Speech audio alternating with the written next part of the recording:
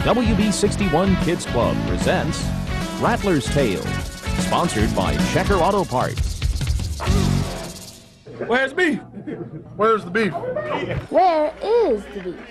Here it is, and the Arizona Rattlers found it. Big time. Just across the bridge in Tempe, Monti's de Casa Vieja has been serving it up for over 125 years. With tradition like that, it's no wonder the Rattlers bellied up to the table the second annual Beef Bowl.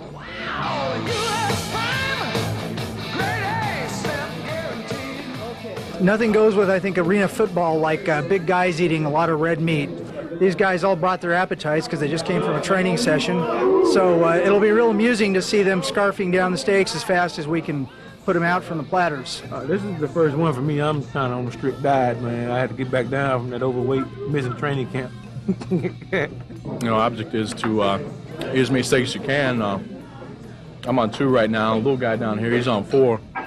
But uh, it's a good time. While this event may be known as the Beef Bowl, not every Rattler was interested in this red meat aroma.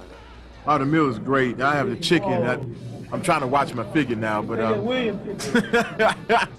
but this chicken is great. It's some of the best Italian chicken I've had since I've been here. Last year, Calvin Schexnayder was the runaway winner. A no-show this year, Shakes lost his title to not a beefy lineman, but to rookie Sean Parnell, a 5'9", 160-pound sirloin specialist.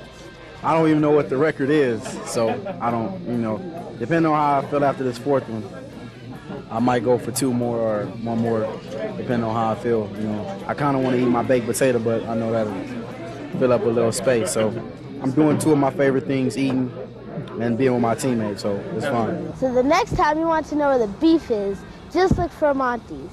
And the Rattlers won't be far behind. That's a Rattler Tale. I'm Ryan Mayo, WB61 Kids correspondent.